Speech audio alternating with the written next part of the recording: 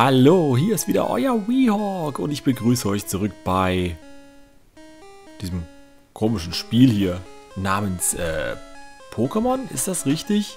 Pocket Monster? Pocket Monster Blau? Ihr habt euch auf jeden Fall entschieden, wir sollen das Helix-Fossil nehmen und das werden wir jetzt auch mal tun. Halt, das ist das Doof-Fossil, entschuldigt. Ja, wir nehmen das Helix-Fossil und damit bekommen wir ein Ammonitas. Da bin ich schon so ein bisschen hin und her gerissen, ne? Also, das, das Problem ist, ich, ich finde Ammonitas tatsächlich cooler als Kabuto. Aber ich finde Kabutops, die Weiterentwicklung von Kabuto, wiederum ziemlich wesentlich cooler als ähm, die Weiterentwicklung von Ammonitas, nämlich Amoroso.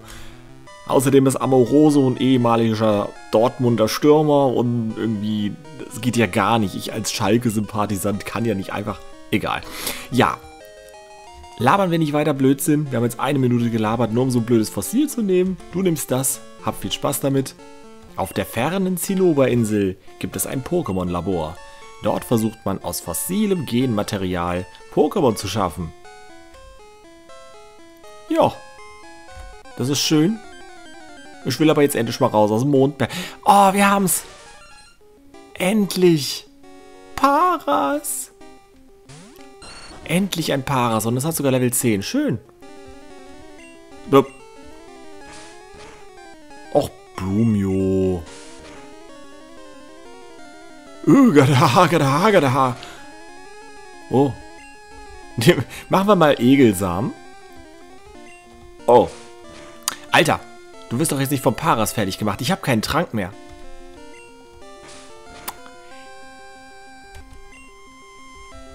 Dann habe ich noch eine andere Variante, wie wir es vielleicht jetzt schon fangen können. Indem wir Arschkeks besiegen lassen? Nein, indem wir die Donnerwelle einsetzen. Dann ist es nämlich paralysiert. Auch dann... Ja, hat es es nicht mehr so leicht, aus dem Pokéball rauszukommen. Wir gucken mal, ob es reicht. Bitte, bitte, bitte, bitte, bitte. Nein! Fast hätte es geklappt. Es reicht noch nicht ganz. Gut, dann bleibt nur eins. Ich mache einen Ruckzuck-Hieb. Und hoffe, dass es dadurch nicht besiegt wird. Boah! Oh shit. Aber jetzt mein letzter Pokéball. Komm, das muss hinhauen. Es muss hinhauen. Wir haben Paras. Hurra! Für Paras wird ein neuer Eintrag im Pokédex angelegt. Dieses Pokémon ernährt sich von Baumwurzeln. Die Pilze auf diesem Rücken nutzen es als Wirtstier. Okay, und wer nichts wird, wird Wirt. So ist wissen wir. jo, ähm. Sollen wir Paras einen Spitznamen geben? Ich finde Paras ist ein cooler Name. Nein, wir geben Paras ausnahmsweise mal keinen Spitznamen. Hö, keine Idee mehr haben, Hawk. Könnten böse Zungen behaupten. Ja. Aber wir sollten erstmal zusehen, dass wir jetzt hier rauskommen. Denn der Weg nach Azuria City ist noch weit und beschwerlich. Wir sind auf der Route 4, Mondberg Azuria City. Dort werden wir die zweite Arena treffen äh, beziehungsweise die, äh, den, den zweiten Arena-Leiter oder Leiterin. Ja, gendern. Einfach gendern ist immer ganz wichtig. Also ist, äh, die Arena-Leitung kann sowohl männlich als auch weiblich sein heutzutage, natürlich. Oder auch beides. Oder alles in Kombination. ist, ja. Auf jeden Fall sollten wir nur zusehen, dass wir heil nach Azuria City kommen. Und dann würde ich mal sagen, dass wir dort mal so ein bisschen unser Team wechseln. Aber gut, erstmal haben wir eine TM4. Was ist denn TM4? Oh mein Gott, Nintendo 64. Wirbelwind. Wirbelwind könnte ich meinem Konsolenfalken beibringen. Damit könnte er wilde Pokémon wegwehen. Will ich aber nicht. Wer sollte denn wilde Pokémon wegwehen wollen? Da unten ist nochmal Gras. Hohes Weed. Und da oben befindet sich ganz offenbar eine Trainerin. Du alte Träne, du. Da kommen wir aber so nicht hoch, dann müssen wir, glaube ich, von Azuria City aus hin. Aber alles zu seiner Zeit. Ich bin natürlich auch erstmal ganz froh, wenn wir heil nach Azuria City gelangen und uns erstmal ein bisschen heilen können. Und jetzt ist, jetzt haben wir richtig, jetzt haben wir richtig Pokémon Blau. Jetzt ist es endlich Pokémon Blau. Und nicht irgendwie Pokémon Braun oder, oder Pokémon Grün. Jetzt ist es endlich Pokémon Blau. Schön. So, wir machen jetzt das folgende. Wir heilen uns hier kurz. Wir heilen deine Pokémon, oder die wieder wird. Bumdi, blumdi, blum. Danke. Okay. Ja, ja, ich komme wieder vorbei. Hallo, alter Mann. Hat man dir schon von Bill erzählt? Bill Nye, the Science Guy. Jeder nennt ihn den Pokemaniac. Aber ich glaube, die Leute sind dumme Idioten. Wer würde denn nicht mit seinen Pokémon prahlen? So sieht's aus. Bill besitzt viele Pokémon. Er hat einige sehr seltene in seiner Sammlung. Was mit dir? Dieser Bill. Immer groß geschrieben vor allem. Ich hörte, für seltene Pokémon würde er alles tun. Also wirklich alles. Alle. okay. äh, jemand ist PC. Äh, wir machen jetzt mal das folgende. Wir legen mal Pokémon ab. Ich wollte zwar eigentlich noch ein, ähm, noch ein Smetbo haben, aber das können wir vielleicht irgendwann mal nachholen. Ich werde Safcon jetzt erstmal ablegen. Ebenfalls verschwinden wird... Wobei Radfratz, Radfratz hat uns so treue Dienste geleistet. Sollen wir ihn wirklich ablegen? Hm, das ist eine schwierige Entscheidung.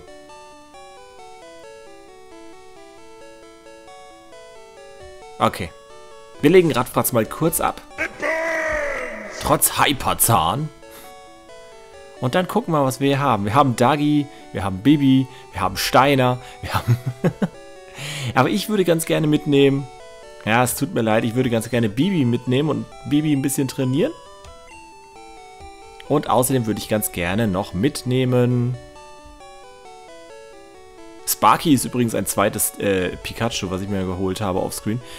Ähm, soll man Paras mitnehmen oder Steiner? Ich glaube, wir nehmen Steiner mit, auch wenn der Angriff Steiners Befehl war. wir nehmen Steiner mit und haben nun Pummeluff und Kleinstein mit bei uns dabei. Und zumindest Pummeluff werde ich jetzt mal eine Weile trainieren. Dass es, dass es ein paar Level höher kommt. Und dann sehen wir uns gleich wieder. Ah, hier bin ich wieder. So, wir sind zurück bei Azuria City.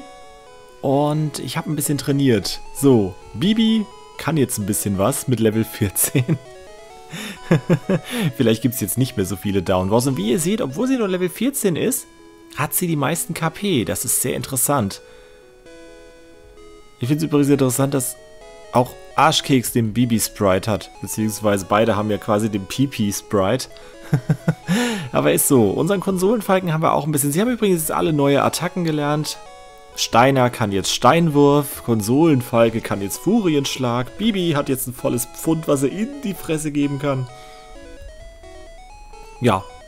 Na gut, alle haben sie keine neuen Attacken, aber das sind so die neuen Attacken, die ich jetzt habe. Weiterentwickelt habe ich jetzt natürlich kein Pokémon, das sollt ihr nicht verpassen. Und ich würde mal sagen, wir machen jetzt einfach mal eine kleine Tour durch... War die ganze Zeit der Mauszeiger im Bild? Wir machen jetzt einfach mal eine kleine Roomtour durch Azuria City. Außer hier den Mürkt, den brauchen wir nicht. Da werde ich ja ganz verrückt. Hallöchen. Lamus ignoriert die Befehle. Wirklich? Was ist da los? Lamus, schlage zu. Oh nein, Bitch Slap. Oh. Wieder nicht. Och, Lamus. Was mit dir los? Du bist auch ein Trainer. Zu sammeln und zu kämpfen ist nicht immer so leicht. Ja, du sagst es. So, äh, was haben wir hier? Azuria City Pokémon Arena. Arenaleiterin Misty. Die gruselige Arenaleiterin. Allerdings, sie kann sehr leicht aus der Haut fahren, wie wir aus der Serie kennen. Ja, Mensch. Und du hier? Was machst du hier? Der Busch vor dem Laden steht im Weg. Vielleicht gibt es einen anderen Weg. Nö, gibt's nicht. Ja, das ist das Problem. Hier ist sowieso gut wie alles abgesperrt. Man kommt hier nirgendwo hin. Wir gehen jetzt einfach mal in dieses Haus. Ei, ei, ei, was sehe ich da? Ein verliebtes Ehepaar. Hallöchen. Hallo. Willst du dein Quapuzzi nicht gegen einen Rossana tauschen? Alter, wo soll ich jetzt auf die Schnelle einen Quapuzzi hernehmen? Wenn du nicht magst, kann man nichts machen. Diese Jugend von heute, oh, lickt's mir doch am Arsch hier. Das ist Scheißdreck. Mein Mann tauscht für sein Leben gern Pokémon. Bist du auch ein Sammler? Würdest du bitte Pokémon mit ihm tauschen? Ja, wenn er kein dämliches Quapuzzi will, gerne. Aber so kommen wir leider nicht ins Geschäft. Ja, was haben wir denn hier? Wer bist du denn? Nur sehr begabte Trainer tragen Pokémon-Orden.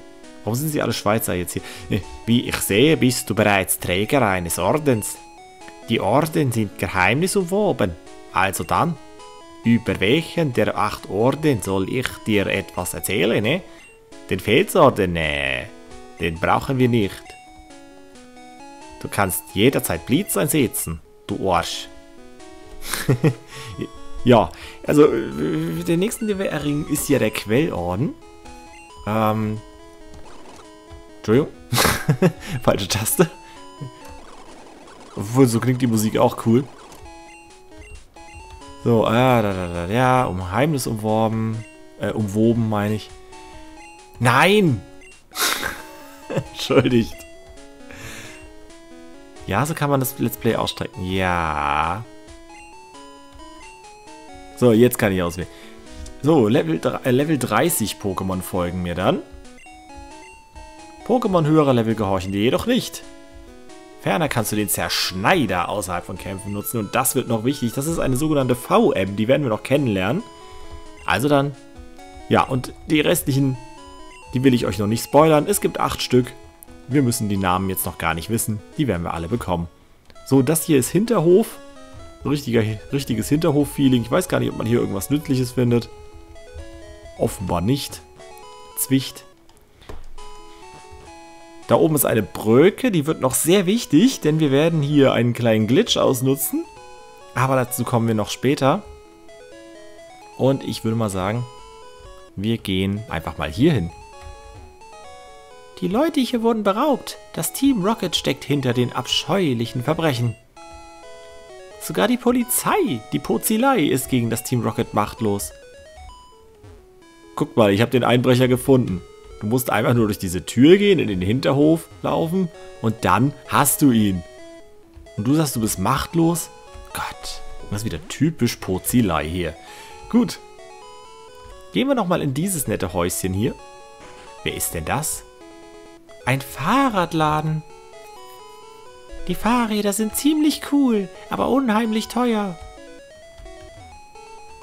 Ich möchte ein Hollandrad. Ohne Holland fahre ich jetzt Rad. Ein Mountainbike hat keinen Gepäckträger. Ja, scusi. Willkommen in die Fahrradladen. Wir haben garantiert das richtige Fahrrad für dich. Richtig. Das, habe ich noch von Italiener zum Russen gemacht in einem Satz. Okay. Das ist unser bestes Fahrrad, eh? Möchtest du es haben? Ja, kostet ja nur eine Million Pokédollar. Das haben wir doch locker auf der hohen Kante. Tut mir leid, da kannst du dir nichts leisten, ne? Komm noch mal wieder, wenn du etwas re mm, reicher bist. okay. Ja, genug Morschu-Sprüche gemacht. Wir kommen hier noch nicht wirklich weiter. Ihr, ihr seht über diese komischen Büsche, Büsche, Büsche hier. Mit denen können wir aber leider im Moment noch nichts machen. Das kommt später. Also, würde ich mal sagen, gehen wir doch einfach in die Arn. Okay, mal gucken. Hey! Warte, du Champion ins B. Ich habe einen Tipp für dich. Misty, die Arenaleiterin, ist ganz schön mistig. Du kannst ihnen das Wasser mit Pflanzen-Pokémon entziehen. Elektro-Pokémon dürften sich auch als nützlich erweisen. Tja, was haben wir denn überhaupt hier? So, Werfen wir nochmal einen Blick auf unser Team. Wir haben einen Arschkeks von Level 16, den habe ich irgendwie nicht weiter trainiert. Und Blumio hat zumindest ein bisschen Level noch dazu bekommen. Level 20 sollte ausreichen. Eventuell bekommen wir hier kleinere Probleme gegen äh, Mistys zweites Pokémon. Das kann ein bisschen heftiger werden. Dann hoffe ich, dass äh, die anderen zumindest nicht gewonnen-hitted werden. Warten wir es mal ab. Warten wir es mal ab. Ansonsten kann das nämlich auch ruckzuck vorbei sein. Ich würde mal sagen, wir kämpfen erst einmal gegen die Trainer hier. Hey du Träne, komm her geschwommen. Platsch. Hast du alles, was du zu sagen hast? So liegt's. Hat Gegner seiner Nüppchen. So's. Ein Schwimmer möchte kämpfen in voller Montur. Gott sei Dank hat er eine Badehose an. Und ein Sepa. Oh, das Sepa ist süß. Sepa mag ich. Tschüss. Ein Sepa-Lastschriftmandat.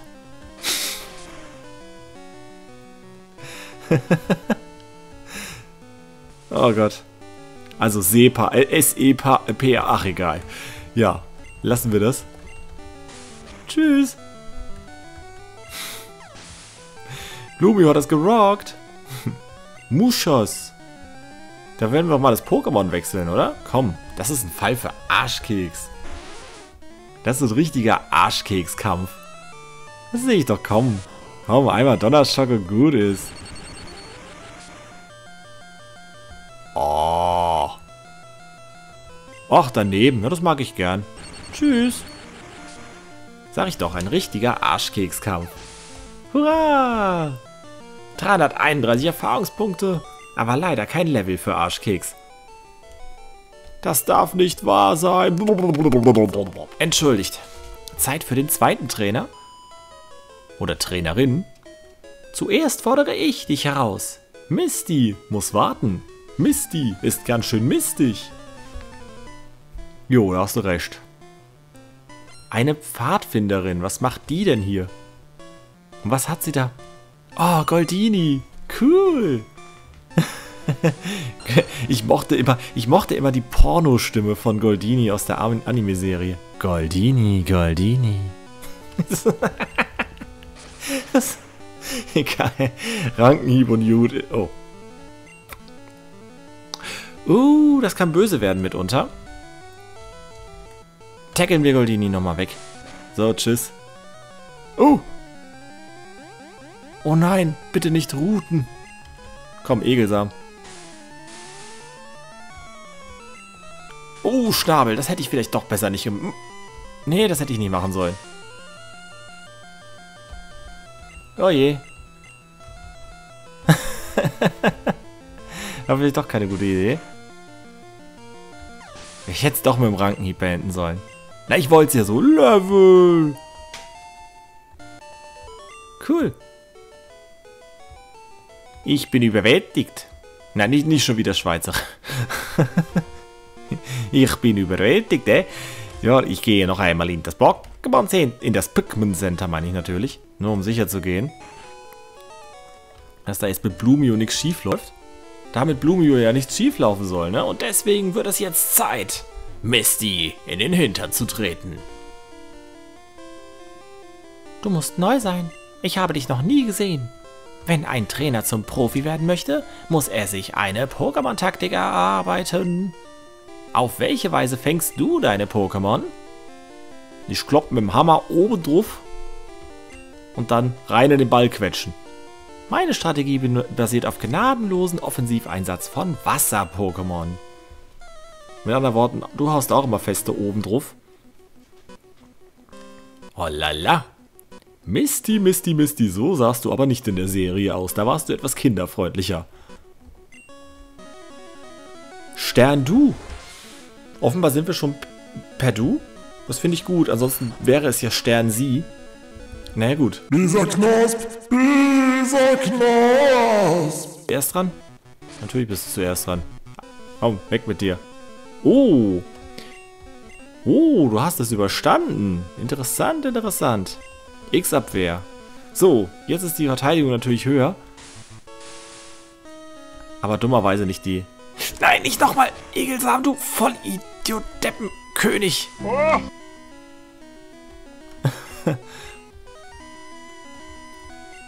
Mann. Ähm, wechseln wir doch mal Hakinien ein, oder? Mal gucken, ob Hakinien das übersteht. Hi, boy! After you've scrubbed all the floors in Hyrule, then we can talk about mercy. Das hat nicht so viel Schaden gemacht, interessanterweise. So, und jetzt mal ein schöner Giftstachel. Vielleicht können wir äh, Sterndu nicht nur bepflanzen, sondern auch noch vergiften. Oh. Dinner. Das wäre ja schon cool.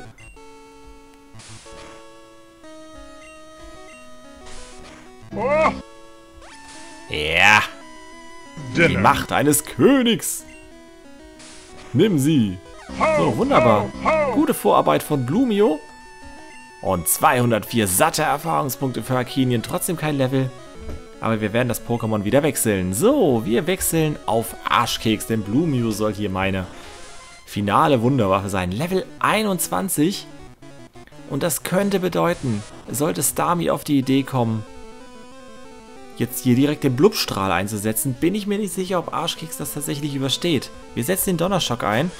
Und das ist genau der Worst Case, den ich befürchtet habe. Oha, da hat jemand das falsche Pokémon gewählt.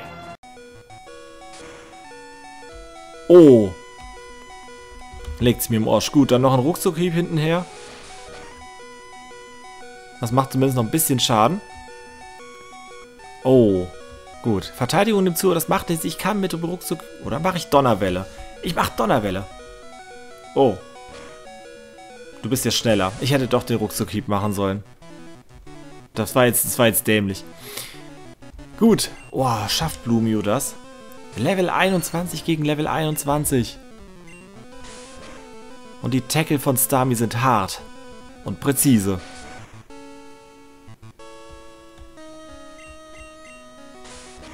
Wenn Blumio das nicht schaffen sollte, dann haben wir diesen Kampf so gut wie verloren.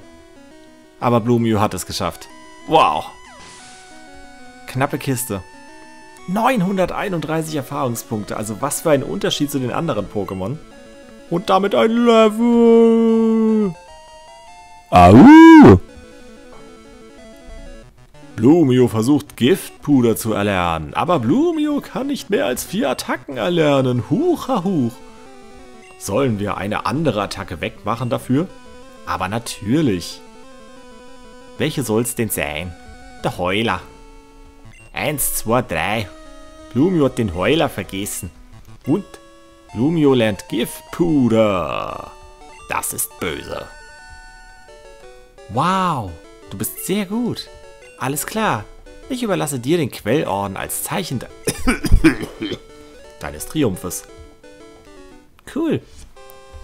Der Quellorden lässt alle Pokémon bis Level 30 deinen Befehlen gehorchen. Sogar, Außense sogar die Außenseiter auf YouTube gehorchen dir. Deine Pokémon können den Zerschneider nun jederzeit einsetzen. Du kannst kleine Büsche zerhacken und so neue Wege freilegen, aber dafür musst du die VM erstmal haben, du Arsch. Zu guter Letzt schenke ich dir noch meine Lieblings-TM. TM11. TM11 ist der Blubstrahl. Wasser-Pokémon können diese Attacke erlernen. Nur Wasser-Pokémon? Gucken wir doch mal. Äh, halt, TM11. TM11 hat sie gesagt. Hier.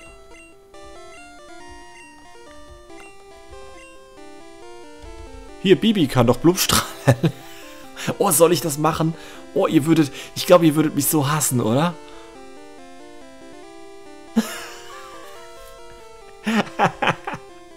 Nicht auszudenken.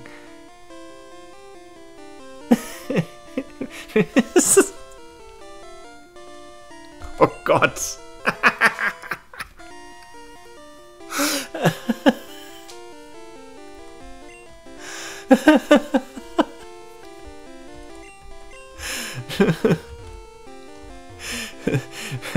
Ich mache sie damit irgendwie zu einem festen Bestandteil meines Teams. Es tut mir so leid, Leute. Also bis zum nächsten Mal, euer Weehawk.